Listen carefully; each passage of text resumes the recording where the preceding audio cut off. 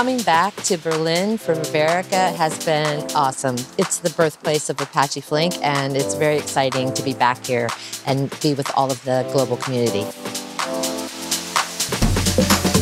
We have two days of conference. We have amazing sessions by many companies around the world using Apache Flink in various ways. So we're super excited to see how they're using it and how we can use it in the future.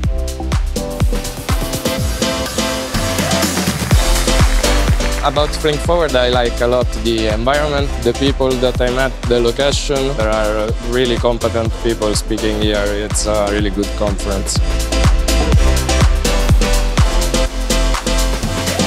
I'm currently a little bit fresh to Flink.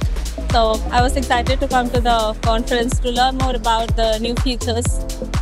My expectation was to meet other people with similar problems, share ideas, share solutions, and think about problems of the community. If we're talking about data streams, right now Flink is the tool of choice. It's implementing as being like the path to get there on the other side. I mean, I expected, you know, Flink experts to come talk about the different applications that Flink have, and it's exceeding all of my expectations. I think I will go with Flink after today's session because I think it's uh, best architecture for real-time analytics on data. We don't have the opportunity to learn everything for ourselves, so it has been a, an honor.